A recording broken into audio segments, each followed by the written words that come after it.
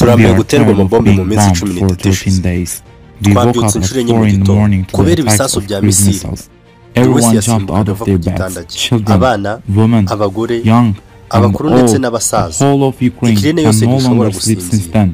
twese turi mu ntambara. Turi kurwanira igihugu cyacu. n'ingabo zacu ndetse n'abaturage bacu. Aya ni amagambo perezida wa Ukraine yatangaje ubwo yarimo aratabariza. Isi yose ngo imutabare. Dore ko yari yugarijwe n'amabombe y'abarusiya. Misile ziremerewe zazindutse ziterwa ku murwa mukuru Kiev. Aho yasabye ibihugu bikomeye nk'ubwongereza na amerika ndetse n'ubufaransa gufata imyanzuro yihuse bagatabara ubuzima bw'abanyayikirene bari mu byago. Andi makuru akomeye tubafitiye ni uko perezida Putin yarakariye ingabo ze. Dore ko yari afite umugambi wo gufata Kiev mu minsi ibiri. Akaba amaze iminsi cumi n'ine yose atarafata Kiev. Ibi bikaba byaratangajwe n'umuyobozi mukuru wa CIA ikigo gishinzwe ubutasi cyo muri Amerika.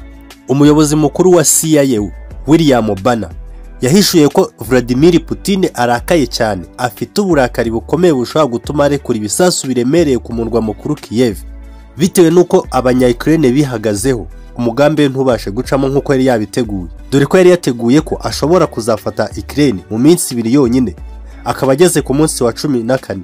Ntacyo arageraho. Ibi yabitangaje ku wa kabiri abwira inteko ya Amerika. Yagize ati ubu ntekereza ko Putin yarakaye kandi yavangiwe. Ashobora gukaza ibitero bikomeye. Dore ko ashobora no gukoresha ibisasu kirimbuzi. Arasa ku murwa mukuru Kiev. Twongere tubibutse ko uyu ari umunsi wa cumi na kane uburusiya buteye Ukraine ariko bukaba bwarananiwe gufata umurwa mukuru Kiev. Ibiro bikuru bya gisirikare muri Ukraine byatangaje ko ingabo zirinze umurwa mukuru Kiev. Ndetse ko bakomeje gusubiza inyuma ibitero bikomeye by'ingabo z'abarusiya.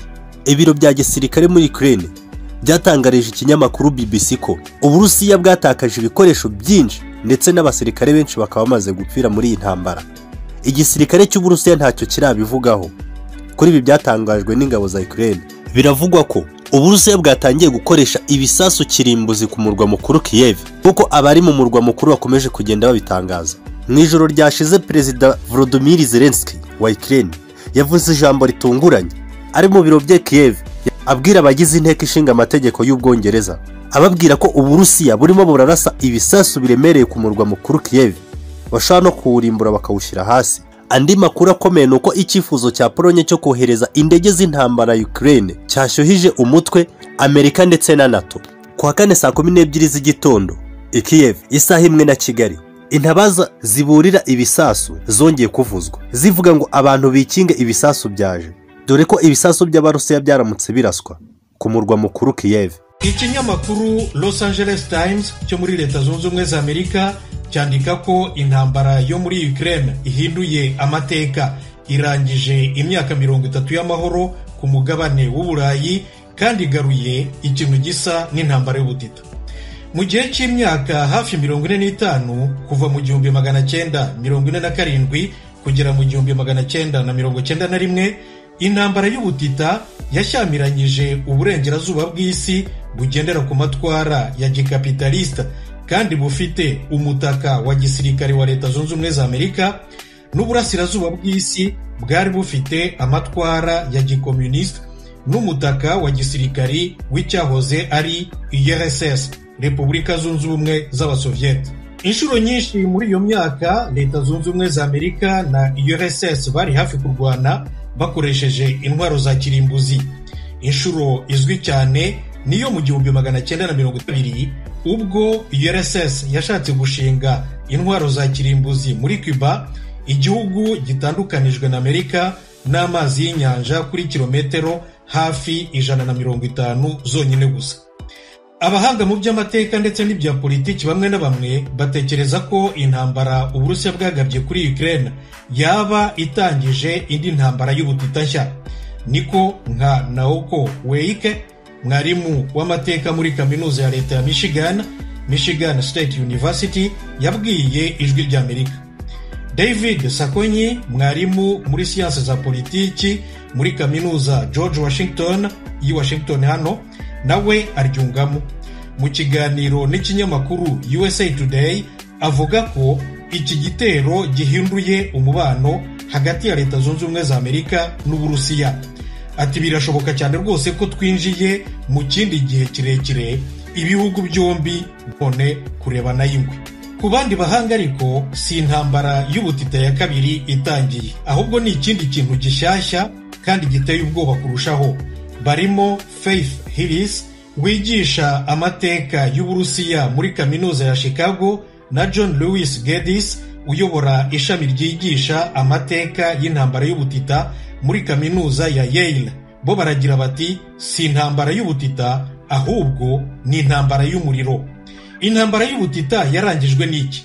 Nk'uko tubisoma ku rubuga rwa heritage foundation ikigo cy'ubushakashatsi mu bya politiki hano muri leta zunze ubumwe za amerika perezida ronald reagan amaze gutorerwa gutegeka igihugu yasanze ingamba zo gukumira amatwara ya gikomunisiti no kurangiza intambara y'ubutita zidahagije.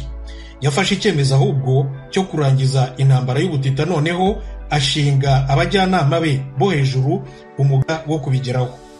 Bashyize imbere ugushegesha urss mu rwego rw'ubukungu mu rwego rw'imari no kuguza amafaranga ikoranabuhanga no gucuruza peteroli na gazi. Ahanini ni byo byatumye intambara y'ubutita irangira na urss irahirima. Ubu rero amerika yabigenza ite?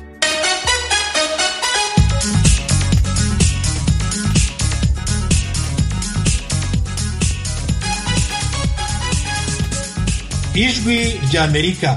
Uburusiya bukimara gutera ukraine. Leta zunze ubumwe za amerika yahise ihuruza isi maze ibihugu bikize bifatira uburusiya ibihano bikomeye mu nzego zitandukanye.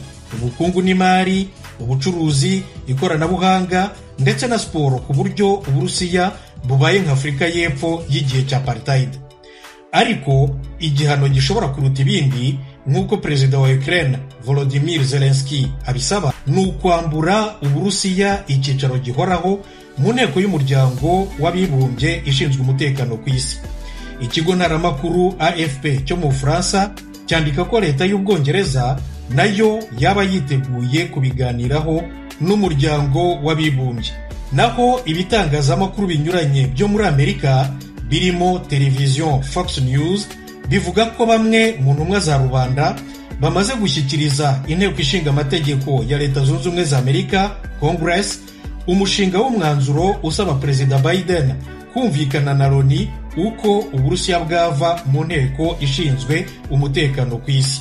Iyi nteko yashyizweho mu gihumbi magana cyenda na mirongo ine na gatanu n'itegeko shingiro ry'umuryango w'abibumbye. Igizwe n'ibihugu cumi na bitanu birimo bitanu bifite icyicaro gihoraho ari byo leta zunze ubumwe za amerika ubushinwa uburusiya ubufaransa n'ubwongereza.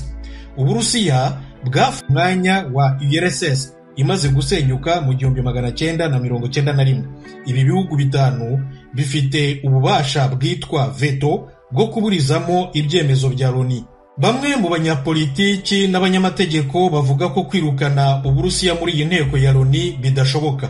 Kuko kimwe n'ibindi bihugu byose uko ari bine bifite icyicaro gihoraho yanditse mu itegeko shingiro rya loni. Ariko umuvugizi wa minisitiri w'intebe w'ubwongereza boris johnson we yemeza ko bishoboka. Yatangarije abanyamakuru ko itegeko shingiro rya loni riteganya inzira zaryo. Ikinyamakuru the week cyo muri leta zunze ubumwe za amerika na cyo gisobanura ko bishoboka. Gihera ko uburusiya bwafashe icyicaro cya urss nta rwego rwa loni rwanditse mu itegeko shingiro nk'inama rusange rubyemeza. Ahubwo bwicaye mu nteko ishinzwe umutekano ku isi biturutse ku nyigo y'abajyanama ba loni mu byonyine gusa. The week iti leta zunze ubumwe za amerika yari ikwiye gusaba inama rusange ya loni gutora kugira ngo iki cyemezo giseswe. Bityo rero uburusiya buve mu ntebe yabwo ihoraho. Nshuti zacu ikiganiro amerika na cy'uyu munsi ntaho gihumurije mbashimiye ko mwagikurikiye maze rero mugire umunsi mwiza umunsi w'amahoro mwari kumwe na